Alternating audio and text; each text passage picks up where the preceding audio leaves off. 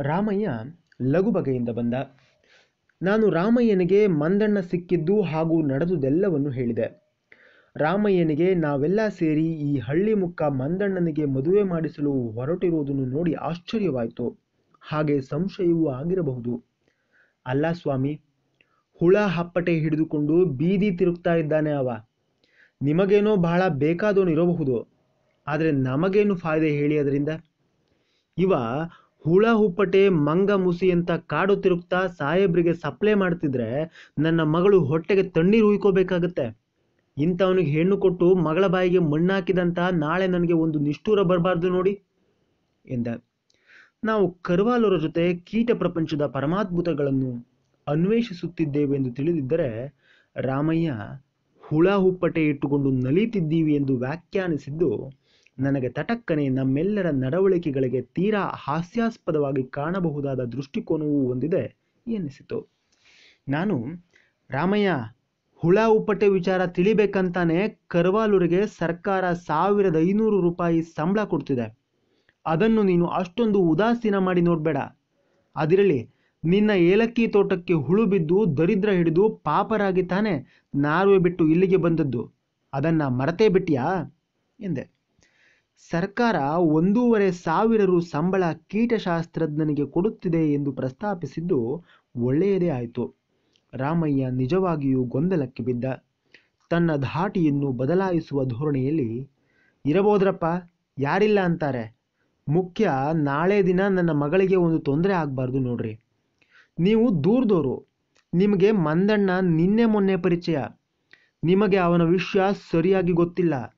ನಾನು ಹುಟ್ದಾಗಿಂದ ಅವನ್ ನೋಡಿದ್ದೀನಿ ಅವನವ್ವ ಅವನ ಮುಂದೆ ತರಬೇಕಂತ ಭಾಳ ಪಾಟ್ಪಟ್ಲು ಈ ಮುಂಡೆ ಮಗ ಹುಟ್ದಾಗಿಂದಲೂ ಹಿಂಗೆ, ಕಾಡ್ ಕುರುಬನಂಗೆ ಹಕ್ಕಿ ಪಕ್ಕಿ, ಹುಳ ಹುಪ್ಟೆ, ಚಾಟ್ರು ಬಿಲ್ಲು, ಶಿಖರ, ಶಿಕಾರಿ ತಿರ್ಗೋದೇ ತಿರ್ಗೋದು.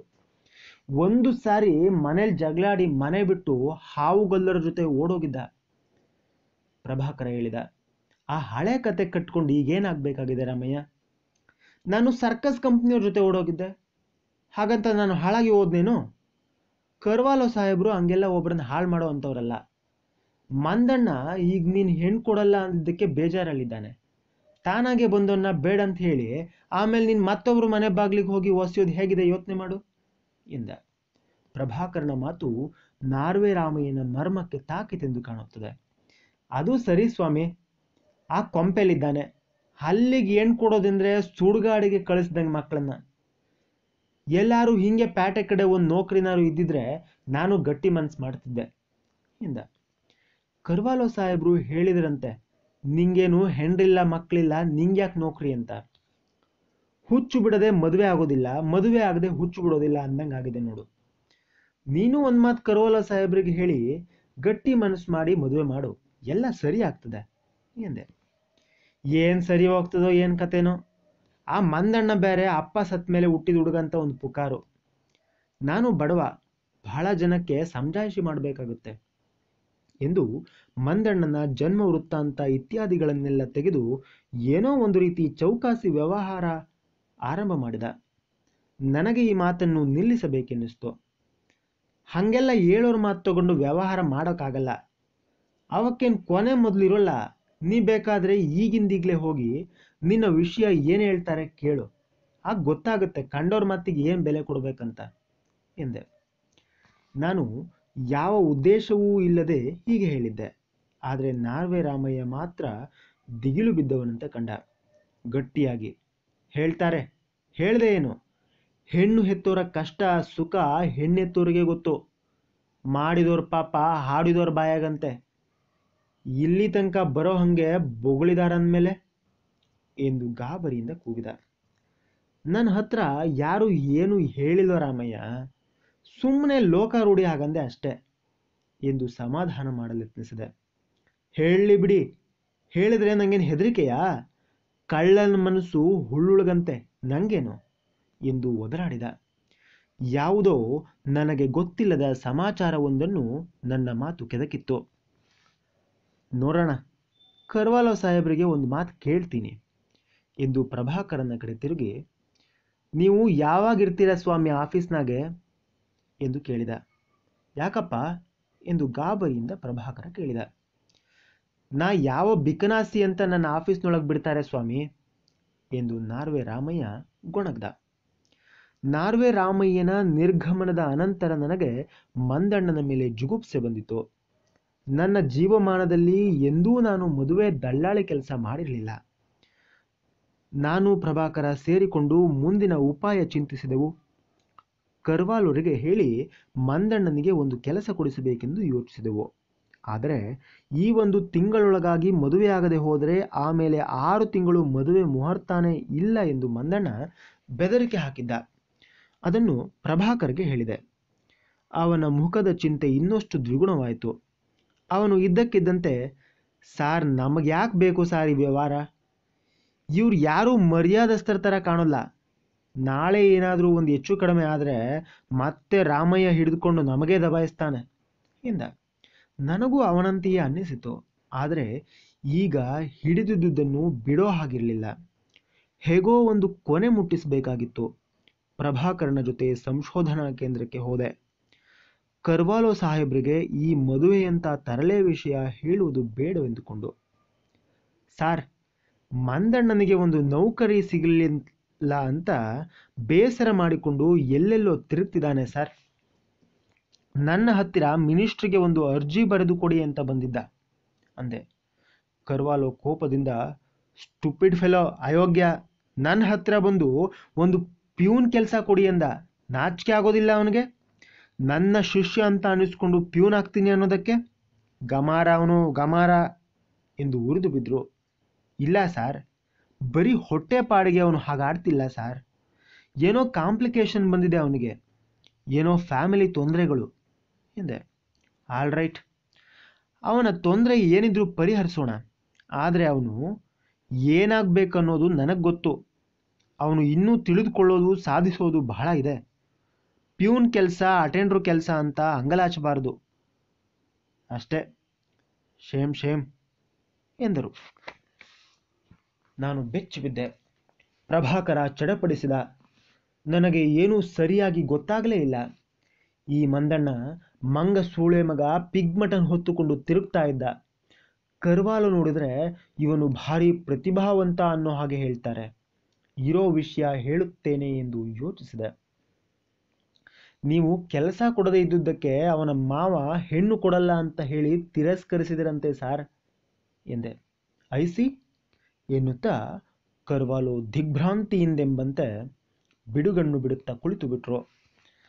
ಮಂದಣ್ಣ ಅವರಿಗೆ ಇದ್ದಕ್ಕಿದ್ದಂತೆ ಪ್ರೇಮ, ಕಾಮ, ಕೋಪ, ತಾಪ ಇತ್ಯಾದಿ ಅರಿಷಡ್ವ ವರ್ಗಗಳನ್ನು ಹೊಂದಿರುವ ಮಾನವನಂತೆ ಕಾಣತೊಡಗಿದ. ಈವರೆಗೂ ಅವರಿಗೆ ಅವನು ಹೋಮೋಸೆಪಿಯನ್ ವರ್ಗದ ಒಂದು ಅಪೂರ್ವ ಸ್ಪೆಸಿಮನ್ ಮಾತ್ರವಾಗಿದ್ದ. ಇದನ್ನೆಲ್ಲ ಕೇಳಿದ ನಂತರ ಕರ್ವಾಲು ಚಿಂತಾಕ್ರಾಂತರಾದರು. ತಕ್ಷಣದಲ್ಲಿ ಅವರು ಅವನಿಗೆ ಯಾವುದೇ ಕೆಲಸ ಕೊಡುವಂತೆಯೂ ಇರಲಿಲ್ಲ. ಅದು ಅಲ್ಲದೆ ಚಿಲ್ಲರೆ ಜವಾನಿಗೆ ಕೆಲಸ ಕೊಡಲು ಅವರು ತಯಾರಿರಲಿಲ್ಲ. ಏಕೆಂದರೆ ಜವಾನನೊಬ್ಬನೊಡನೆ ಸಾಹೇಬರು ಅಷ್ಟೊಂದು ಆತ್ಮೀಯವಾಗಿರುವುದು ಹೇಗೆ? ಇದರೊಡನೆ ಇನ್ನೊಂದು ತಿಂಗಳು ಕಳೆದರೆ ಆಮೇಲೆ ಮದುವೆ ಮುಹೂರ್ತವೇ ಇಲ್ಲವಂತೆ ಎಂಬುದನ್ನು ಹೇಳಿದೆ. ಕರ್ವಾಲು ಇನ್ನಷ್ಟು ಮುಖ ಇಂಜಿಕೊಂಡು ಕುಳಿತರು. ಕೊನೆಗೆ ನಾನು ಸಮಸ್ಯೆ ಬಗೆಹರಿಸಿದೆ. ನಾರ್ವೆ ರಾಮಯ್ಯ ಬಂದಾಗ ಕರ್ವಾಲು ಅವನಿಗೆ,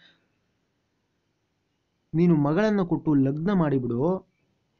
ಸಂಸಾರ ಒಂದು ಅಂತ ಆದರೆ ನನಗೆ ಕೆಲಸ ಕೊಡಿಸೋದು ಸುಲಭ ಆಗುತ್ತೆ ಅಂತ ಹೇಳುವುದು ಎಂದು. ನನ್ನ ಉಪಾಯ ಕರ್ವಾಲ್ವರೆಗೂ ಒಪ್ಪಿಗೆ ಆಯಿತು. ಆಗಲಿ, ಅದಕ್ಕೇನಂತೆ? Poor fellow. ಮದುವೆ ಆದರೆ ಕೊಂಚ ಜವಾಬ್ದಾರಿಯುತವಾಗಿ ವರ್ತಿಸಬಹುದು, ಎಂದರು. ಈಚೆಗೆ ಪ್ರಭಾಕರನೊಡನೆ ಹೊರಬಂದಾಗ ಪ್ರಭಾಕರ ಒಂದು ವಿಷಯ ತಿಳಿಸಿದ.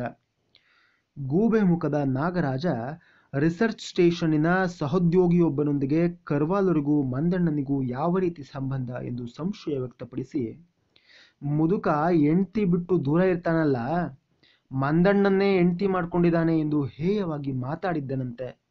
ಅಂತೂ ಪೊಲೀಸರಿಂದ ಹಿಡಿದು ನಾಗರಾಜನವರೆಗೆ ಎಲ್ಲರೂ ಕರ್ವಾಲುರ ಮೇಲೆ ಸಂಶಯದ ದೃಷ್ಟಿ ಬೀರುತ್ತಲೇ ಇದ್ರು. ತಮ್ಮದೇ ಆದ ರೀತಿಯಲ್ಲಿ. ಪ್ರಭಾಕರ ನನ್ನನ್ನು ಅವರ ಲ್ಯಾಬಿಗೆ ಕರೆದುಕೊಂಡು ಹೋಗಿ ಅವನೇ ಮಾಡಿದ ಎನ್ಲಾರ್ಜರ್ ಇತ್ಯಾದಿಗಳನ್ನೆಲ್ಲ ತೋರಿಸಿದ. ಆತ ತೆಗೆದಿದ್ದ ಅನೇಕ ಹುಳು ಹುಪ್ಪಟೆಗಳ ಮ್ಯಾಕ್ರೋ ಚಿತ್ರಗಳನ್ನೆಲ್ಲ ತೋರಿಸಿದ. ನಾನಂತೂ ಆ ದುಂಬಿ ಮಿಡತೆ ಚಿಟ್ಟೆಗಳ ಅದ್ಭುತ ರೂಪರಚನೆಗಳನ್ನು ನೋಡಿ ಮರುಳಾಗಿ ಹೋದೆ.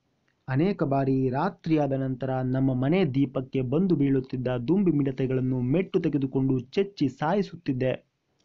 ಇನ್ನು ಮೇಲೆ ಅವುಗಳನ್ನು ಗಮನಿಸಬೇಕೆಂದು ನಿರ್ಧರಿಸಿದೆ. ಮಂದಣ್ಣನಿಗೆ ಮದುವೆ ನಿಶ್ಚಯವಾಯಿತು. ಮಂದಣ್ಣ ಹೋಗಿ ಲಕ್ಷ್ಮಣನಿಗೆ ದುಂಬಾಲು ಬಿದ್ದನಂತೆ. ನನಗೆ ತಂದೆ ಇಲ್ಲ. ನೀನೇ ದಿಕ್ಕು. ನೀನೇ ನಿಂತು ಕೆಲಸ ಮಾಡಿಕೊಡಬೇಕು ಎಂದು ಲಕ್ಷ್ಮಣ ಒಬ್ಬ ಸ್ನೇಹಜೀವಿ ಜವಾಬ್ದಾರಿಗಳನ್ನು ಮೈಮೇಲೆಳೆದುಕೊಳ್ಳುವುದೆಂದರೆ ಅವನಿಗೆ ಪಂಚಪ್ರಾಣ. ಮಂದಣ್ಣ ಕೇಳುವ ಮೊದಲೇ ಅವನು ಕೆಲಸ ಆರಂಭಿಸಿದ್ದ. ಒಂದು ದಿನ ಲಕ್ಷ್ಮಣ, ಕೊಂಚ ಹಣ ಬೇಕೆಂದು ನನ್ನ ಬಳಿಗೆ ಬಂದ. ನಾಲ್ಕು ಸವರಣ್ಣಿನ ತಾಳಿಯೇ ಆಗಬೇಕೆಂದು ರಾಮಯ್ಯ ಪಟ್ಟು ಹಿಡಿದಿದ್ದಾನಂತೆ. ಹೆಣ್ಣಿನ ತಾಯಿಗೆ ಹಿಂತಿಂತದೇ ಸೀರೆ ಆಗಬೇಕೆಂದು ಹಠ ಹಿಡಿದಿದ್ದಾನಂತೆ. ಮಂದಣ್ಣನ ಹಣವೆಲ್ಲ ಖರ್ಚಾಗಿ, ಲಕ್ಷ್ಮಣನ ಬಳಿ ಇದ್ದ ಹಣವೂ ಖರ್ಚಾಗಿ, ಈಗ ಅವರಿವರ ಬಳಿ ಹಣ ಸಂಗ್ರಹಿಸಬೇಕಾಗಿ ಬಂದಿದೆ ಎಂದು ಹೇಳಿದ. ದಿನಕ್ಕೊಂದು ತೊಂದರೆಯಂತೆ ಪುಂಖಾನುಪುಂಖವಾಗಿ ರಾಮಯ್ಯ ತಂದೊಡ್ಡುತ್ತಿದ್ದ ತೊಂದರೆಗಳಿಂದ ಲಕ್ಷ್ಮಣ ಬೇಸತ್ತು ಹೋಗಿದ್ದ. ಇವನದು ಯಾವ ಸುಡುಗಾಡು ಜಾತಿ ಸರ್? ಅದರ ಹೆಸರೇ ಕೇಳಿರಲಿಲ್ಲ ನಾನು. ಮಡಿ ಒಕ್ಕಲಿಗ ಅಂತೆ ಬ್ರಾಹ್ಮರಿಗಿಂತ ಹೆಚ್ಚಿಗೆ ಶಾಸ್ತ್ರ ಆಚಾರ ಮಾಡೋದಕ್ಕೆ ಬರ್ತಾರೆ. ಆ ರಾಮಯ್ಯ ಒಂದು ತೊಂದರೆ ಕೊಡ್ತಾನಂದರೆ ಹೇಳೋದಲ್ಲ. ನೀವು ಕರ್ವಾಲೋ ಸಾಹೇಬರು ಎಲ್ಲ ಮಂದಣ್ಣನ ಹಿಂದಿದ್ದೀರಂತ ಗುಟ್ಟು ತಿಳಿದುಕೊಂಡು ಮದುವೆ ಆಗೋಕ್ಕೆ ಮುಂಚೆಯೇ ಸರಿಯಾಗಿ ಸುಲಿಯಬೇಕೆಂದು ಮಾಡಿಕೊಂಡಿದ್ದಾರೆ.